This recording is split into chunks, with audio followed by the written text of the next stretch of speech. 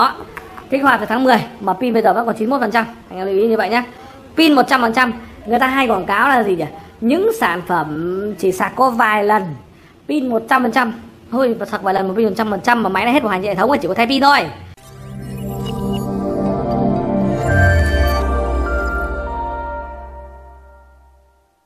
Hello, hello, xin chào các bạn. Vâng, mình à, đến từ MSM.vn Lâu lắm mới quay lại gặp lại các bạn. Đợt này à, dịch giết thành ra là không có thời gian để làm nhiều clip cho các bạn được. Nhưng mà ngày hôm nay ấy, thì à, có bạn đến mấy thì cũng phải làm. Bởi vì là mình muốn giới thiệu cho các bạn những chiếc máy này nhá. Nhìn là các bạn sẽ biết luôn rồi.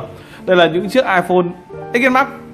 Chưa bao giờ hết hot Chưa bao giờ hết uh, những sự quan tâm của mọi người sau này có những cái dòng như Pro Max các thứ hoặc là cái ừ, đời cao hơn cao hơn nữa ấy, thì may ra anh em mới hết quan tâm đến sản phẩm này thôi. Chứ còn thời điểm hiện tại vẫn rất là nhiều người quan tâm đúng không? Thì à, nhân đây thì nói luôn những sản phẩm này hiện tại bên mình bán rẻ lắm nhá những sản phẩm này bên mình bán với mã là 95% rất là rẻ bản quốc tế toàn là của Mỹ thôi.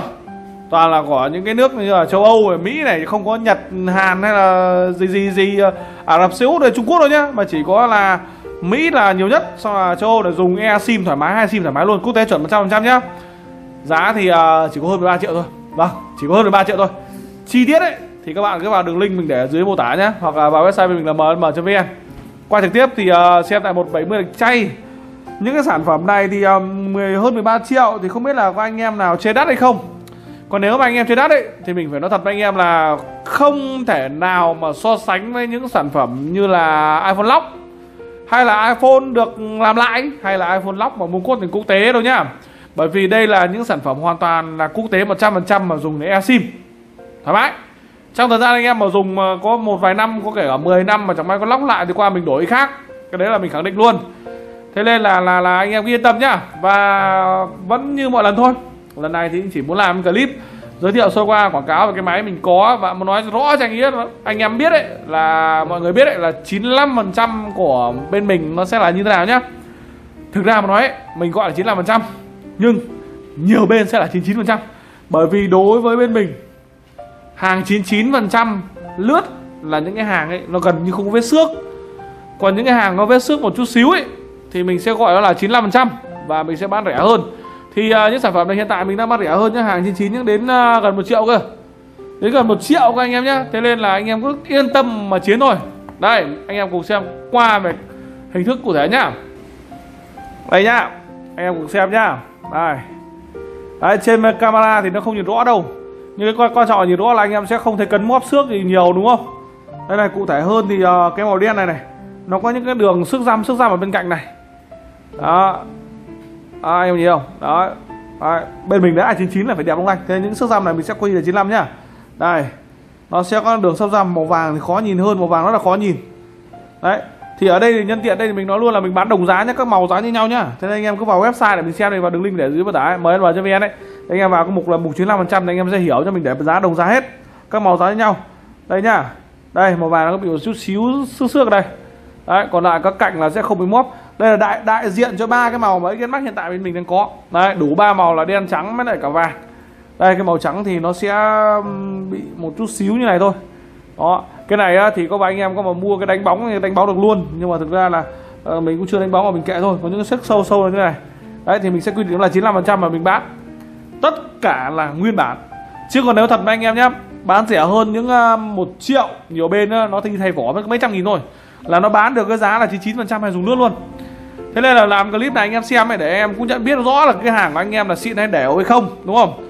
Vỏ xịn hay là vỏ đẻo thì tốt nhất ấy là anh em có mua sức sức một tí để cho nó yên tâm. Có những cái bên là mà người ta uy tín người ta nói là 99 phần trăm mà người ta nói rõ ràng ấy thì à, cũng yên tâm. Còn những cái bên nào mà nó mập mờ mờ tốt nhất là mua 95 phần trăm yên tâm bởi vì là thực ra những con máy xước này ấy, đa phần là vỏ zin hết. Bởi vì là một khi người ta đã muốn dựng người ta dựng đẹp luôn nhưng người ta trở gì tội gì người ta phải dựng xước xước đúng không? Đó và một điều nữa mình lại hướng dẫn anh em lại lần nữa để anh em cách xem nhá. Tất cả các vỏ của iPhone XS Max thì ấy, anh em đều lướt qua này. Từ cái viền trở đi này cái phím này nó sẽ giống hệt nhau. Màu sắc sẽ là y nhau. Và nó rất chặt chẽ và khít nhá anh em thấy nhá đó đầu tiên là xem về viền trước này. Đây phía dưới cạnh nó là một cái uh, màu khác cái này nó là bằng nhựa cái này nó là để làm anten uh, ờ, có thể anten wifi có thể anten sóng cho cho trước một chiếc iphone đấy. Thì uh, anh em có thể vuốt chúng ta có thể vuốt đây. Và sẽ thấy rất là bằng bởi vì nó gia công nó phay gần như là tuyệt đối cảm giác. Nếu mà nhắm mắt vào mà vuốt ấy thì cảm giác nó như là một khối luôn. Nó chỉ hơi gờ một chút xíu thôi anh em nhé. Đấy và cái màu này và cái màu này. Đây cái màu ở trong chân sạc ấy. Đấy. thường thường nó sẽ trùng nhau nhưng những cái chân sạc này đã sử dụng đã quá một năm rồi thì hình thức xấu như này thì anh em sẽ nhìn thấy nó sẽ bẩn bẩn màu đen chứ nó không thể trắng hết được đâu nhá. Đây màu đen này khó nhìn lắm màu vàng các bạn này. Anh em nhìn thấy rất là bẩn này nó không thể trắng hết được đâu. Đấy nhưng cái quan trọng là chúng ta cùng nhìn cái này cái mép này cái mép này cái mép này và cái mép này. Đấy đều màu với nhau đều màu với nhau. Đấy, bên trên này vậy này đấy. Phải đều màu với nhau nhá đều đen như thế nào là phải như thế đấy, cùng soi nhá, mà nó chỉ là một màu thôi. Đấy, nhiều khi đi xem, anh em lên, chọn, lấy hai cái giống nhau để anh em để nó cạnh nhau, là những cái này nó sẽ màu giống nhau này. Nếu tại những cửa hàng đấy có hai chiếc máy iPhone đến Max mà ấy, cái nhựa này, bởi vì cái nhựa này không bao giờ bị phai màu giống như những chiếc máy mà vỏ bằng kim loại nhé những chiếc máy vỏ bằng kim loại này nó phai màu đi thì có thể màu sẽ khác, nhưng cái nhựa này sẽ không bao giờ bị phai màu. Thế nên nếu cầm hai chiếc máy màu đen thì cái nhựa này sẽ giống hệt nhau cái viền này có thể bị xước hơn có thể bị bạc đi một chút thì không nói nhưng cái nhựa này sẽ không bị phai anh em sẽ nhìn thấy giống hệt nhau. Lau đi một chút nó sẽ giống màu giống hệt nhau nhé anh em lưu ý như vậy. Là cái viền. Đó. Khai sim này nó khít này nó không bị nhô ra một chút xíu nào luôn. Nhô ra là không phải khai sim của nó rồi. Đấy nó là khít như này này. Vuốt tay nó không bị cộm này. Đó. Đây là cái viền và cái viền này là viền bằng thép. Thế nên nó rất là cứng. Đấy, rất là cứng luôn anh em nhá. Anh em lưu ý như vậy nó không phải là cái viền bằng nhựa và cũng không phải là viền bằng nhôm một điều nữa không nên chọn những chiếc máy bị móp. Đây những chiếc máy mà nó có răm răm một chút xíu như của mình ấy thì mình không nói đây anh em nhìn đâu, đấy. nhưng không nên chọn những chiếc máy bị móp hay là bị cong bởi vì những chiếc máy đấy có thể rơi. Đã móp rồi bởi vì cái viền là viền thép đã móp rồi là nhiều khả năng đã bị vỡ màn và vỡ màn người ta sẽ ép lại. Thế nên anh em lưu ý là không nên chọn những chiếc máy bị móp. Đã chọn 95% là phải là những chiếc máy mà nó chỉ bị cháy sức nhẹ như của bên mình như này thôi nhá. Anh em lưu ý như vậy. Lật lên mặt sau để cùng xem đó ba màu vàng này đen này và trắng. Một điều quan trọng đây là những sản phẩm của mỹ. Thì nó chỉ có những chiếc iphone như này thôi nhật. Một số sản phẩm của thị trường uh, châu âu thì nó sẽ in thêm một số ký tự ở dưới này. Nhưng bắt buộc là những sản phẩm của mỹ là nó phải chỉ có chữ iphone nhé nếu anh em đi mua mà sản phẩm của Mỹ mà có in ký tự bên dưới đấy thì nó đã thay vỏ sản phẩm của châu Âu rồi. Còn nếu sản phẩm của châu Âu mà nó chữ chữ iPhone đấy thì nó đã bị thay lắp lưng rồi anh em nhé. Bởi vì là những sản phẩm mà có in những ký tự, ví dụ như bảo vệ môi trường hình thùng rác mà chéo chéo này, là những sản phẩm đấy là không mua được lắp lưng ở ngoài. Không mua, gần như là không mua được lắp lưng ở ngoài luôn nhá anh em lưu ý với mình là như vậy nhá. Cái quan trọng nữa là những cái chữ này này, màu gì thì màu nó phải đều phông với nhau, mà nó rất là đều màu. Nó sẽ không có một cái, ví dụ chữ e nó mờ hơn hay chữ p nó đậm hơn không có chuyện đấy đâu nhá. Mà rất là đều màu này rất là đều này. Kể cả màu cái phông nữa cái như một nhá. Có nghĩa là cái màu đen này hay là cái màu vàng này thì cái nét chữ nó cũng sẽ là như một. Anh em lưu ý với mình như vậy. Nhìn lên phía trên này là logo của Apple. Logo của Apple thì chỉ có hai cái màu đen và màu bạc này. Đây, màu đen và màu trắng này nó sẽ có màu bạc nhé đấy nó sẽ có bạc bên màu đen nó sẽ có bạc sẫm màu tí nhưng mà mình thấy nó giống gần như là y xì cái màu trắng này. Đấy nó sẽ là màu bạc này. Còn cái màu vàng đây nó sẽ là màu bạc ánh vàng. Anh lưu ý cho mình là như vậy nhé. Không có cái nào mà lưng màu vàng mà là cái logo này nó là màu bạc nhá hay là không có cái lưng nào là màu đen logo nó màu đen nhá. Mà lưng logo màu đen logo nó sẽ là màu bạc xám xám nhá. Đấy màu trắng này mà không phải là màu, màu trắng đâu nhá mà sẽ là màu bạc luôn nhá. Đó anh lưu ý nhá. Đây tiếp đến là cái mục cái trên này quan trọng này. Đấy. nhìn thật kỹ. Đấy, nó sẽ rất là đen và nhìn sâu thẳm bên trong luôn. Không lộ cái viền camera nhé. Những cái điện thoại mà rẻ tiền, những loại fake này, là cái camera nó không bao giờ làm được như này luôn. Mà nó sẽ rất là lộ cái viền của camera. Cái này chúng ta nhìn thấy bên trong là gần như chúng ta chỉ nhìn thấy cái thấu kính thôi. Cái bóng bóng này này. Đấy còn cái viền xung quanh là chúng ta sẽ không nhìn thấy. Và cái quan trọng nhất này, bật một cái điện thoại khác lên. Soi cái đèn pin vào đấy.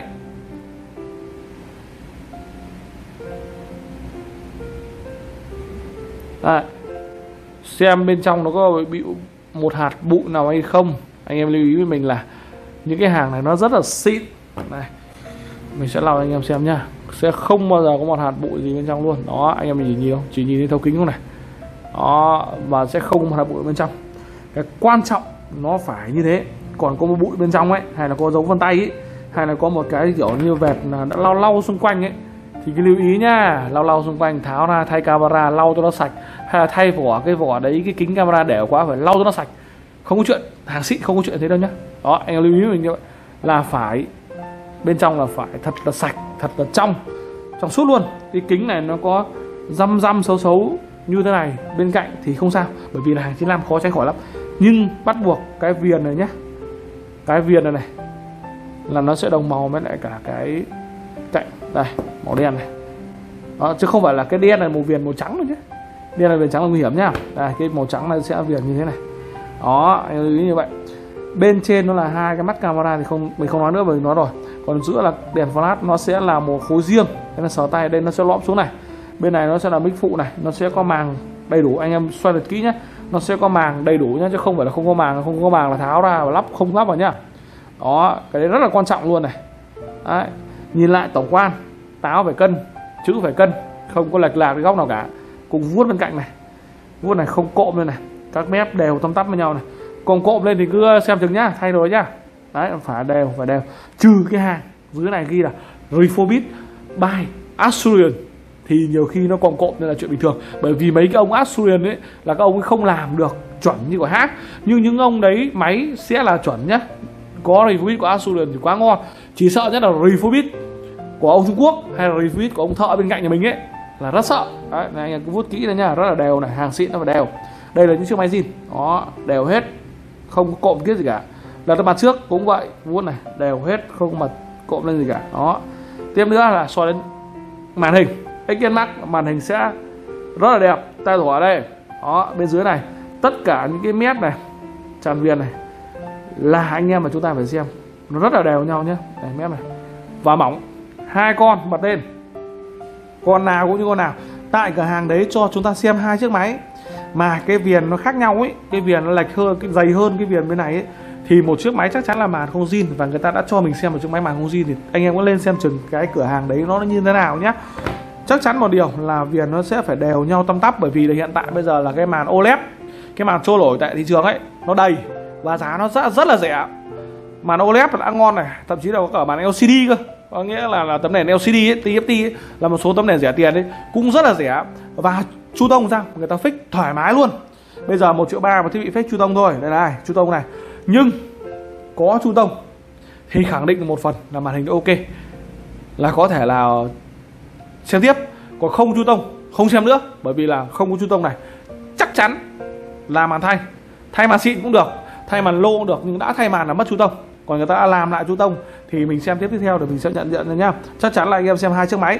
Các bạn xem hai chiếc máy nó phải đều cho nó tắp này nhá. Lưu ý mình như vậy xem hai chiếc máy bật hai chiếc máy lên mà xem. Phải có hai chiếc máy để so sánh thì nó mới rõ chứ một cầm một chiếc trên này thì không biết được đâu. Đó. Trên chiếc màn hình cùng xem kỹ cái viền này tắt màn hình đi nó đen như không này. Đó. Chứ không làm gì có cái lòng màu trắng hơn nữa nhá. Nó phải đen như thế này. À, lưu ý nó phải đen như là một khối này. Và nhìn thật kỹ bật cái mép này nó sẽ không có một cái xước xước bên trong hay gì cả đây xoay đến cái vùng bên trên cùng này. Dùng đèn bật đèn pin lên xoay vào đây. Nó sẽ có những cái khu vực cảm biến đây chỉ có điện xoay đèn mình nhìn thôi chứ mắt thường rất khó nhìn. Bên này sẽ là camera xoay thật kỹ không có bụi bên trong. Giữa nó có bụi có bẩn đến mấy cũng là ngon bởi vì sao? Đã dùng là phải bụi phải bẩn. Bởi vì những chiếc máy này ấy, thường thường là dùng trên một năm rồi. Anh em lưu ý mình như vậy nhá là phải bụi phải bẩn. Đó không có bụi bên trong là ok. Xước bên ngoài thì cũng không sao bởi vì hàng 95 xước nhưng mà kính gì. Còn hơn là bị ép kính, đúng không anh em? Đó, bây giờ là cái quan trọng tiếp theo là chúng ta sẽ xem vào bên trong. Cái việc xem vào bên trong này cũng khá là quan trọng đây này. Đấy nhá, anh em vào phần giới thiệu này, các bạn vào giới thiệu nhé trên này nó sẽ là LL đây là của Mỹ này. UF 13 là ok, đúng không? Số serial number ở đây, số email ở dưới này. Đây là những cái việc mà và chúng ta cần xem đấy nhá nó có sẽ có sim thực và sim kỹ số sim kỹ số là, là e sim ấy. Thì cái e sim là tra hệ thống là à, lên ra để kích hoạt được kích hoạt được e sim này là chúng ta dùng bình thường. Còn nếu không kích hoạt e sim này thì cứ lưu ý đây là máy lóc nhá. Nó đây này a 1921 này. Rút được e sim ra. Bên dưới chỗ này nó sẽ là a 1921 thì mới là chuẩn nhá. Đó, rút khai sim ra bên dưới là a 1921 là chuẩn. Còn không phải a 1921 đấy thì là thay bỏ. Đấy lưu ý là như vậy. Và trùng số modem này. Đấy số máy này. Để trùng nhá a 1921 này tiếp nữa là sẽ kiểm tra đến à, trên hệ thống.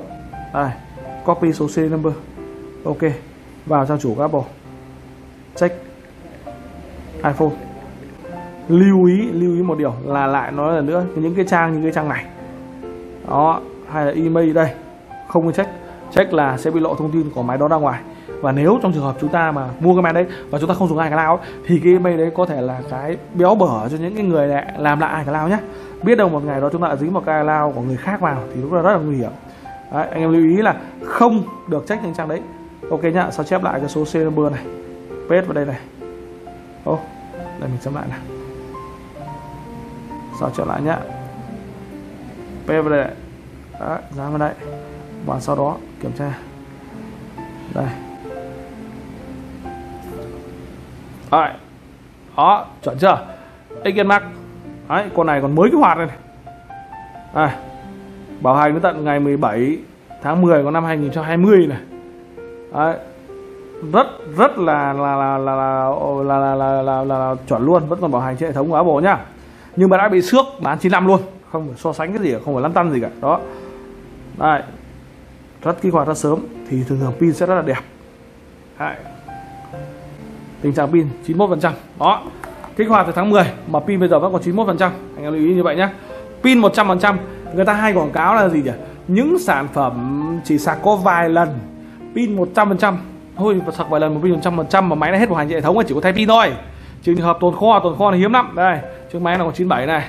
Đấy, anh em lưu ý nhá. Mà US 13 nó báo là hay hụt nhiều lắm. Thế nên là cứ trên 80 phần trăm là ok, mà những chiếc S Max là trên 90 phần trăm là ok. Đây để xem trước này thế nào. Đây 95 phần trăm đây. Đó tất cả bên mình đều như này, không có cái chuyện là những chiếc máy mới chỉ sạc vài lần đâu mà hết bảo hành hệ thống đâu anh em nhé. Mới chỉ sạc bỏ vài lần này, chỉ có trường hợp hết bảo hành hệ thống, chỉ trường hợp lưu kho, chỉ trường hợp hàng trả bảo hành. Đó, trả bảo hành thì mã khác rồi. Đây, xem lại chỗ này tiếp này. Trả bảo hành. Đây, thì mã chỗ này nó sẽ là chữ N. Hàng Sebo, sẽ là chữ F bằng Sebo thì nó bảo hành đủ 12 tháng nên không có chuyện như thế đâu. Thế nên là chữ M, hết bảo hành hệ thống, pin không, gần như không có 100% trường hợp lưu kho và trường hợp người ta không dùng. Anh em mua một chiếc máy về, anh em kích hoạt em không dùng chắc chắn là anh em phải dùng, đúng không? Thế nên là pin phải bị hao. Đây nhá, để check cụ thể thời gian sản xuất, thời gian kích hoạt là ngày nào. Thì lại làm lại cách này của mình. Đăng nhập tài khoản ai cả lao của mình vào đây. Đấy nhá, đăng nhập tài khoản ai cả lao của mình vào. Vào trang chủ my support, ghi là my support. Đây, vào trang chủ này, support trong basketball chúng con my support, đó, anh em vào cái trang này. Đây, nó sẽ nhảy vào như này, ấn vào đây đăng nhập đăng nhập cái tài khoản iCloud mà cũng đăng nhập trên cái máy này ấy. Đăng nhập vào đây. Rồi, mình sẽ đăng nhập tài khoản vào đây nhá.